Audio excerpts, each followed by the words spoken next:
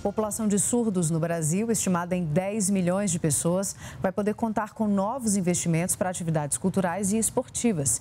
É o projeto Sinais, lançado nesta quarta-feira pelo Ministério da Cidadania.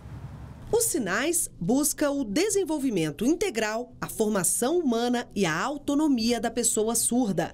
E também quer promover a disseminação da linguagem brasileira de sinais, as Libras. O objetivo é oferecer atividades culturais e esportivas para os surdos que estão inseridos nos programas de transferência de renda do governo. Cinco municípios serão contemplados já no início do ano que vem: Araucária, no Paraná, Abaetetuba, no Pará. Salvador, na Bahia, Goiânia, em Goiás e São Bernardo do Campo, em São Paulo.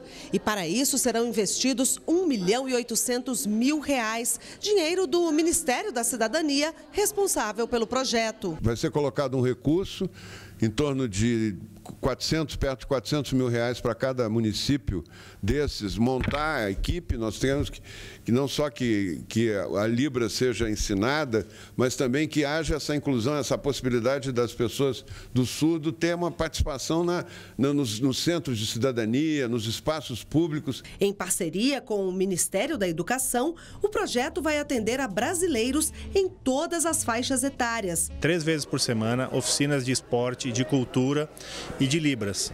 É, dentro de, de, a partir de 15 dias começa também a outras oficinas da pensando em cidadania, prevenção às drogas. O projeto Sinais conta com a parceria do Pátria Voluntária, que tem como presidente a primeira-dama Michele Bolsonaro. Eu sonho com um dia que o surdo não se sinta mais estrangeiro em sua própria nação. Sonho com uma nação bilíngue, inclusiva e justa. É para isso que estamos trabalhando. Tarcísio Coutinho é programador e professor.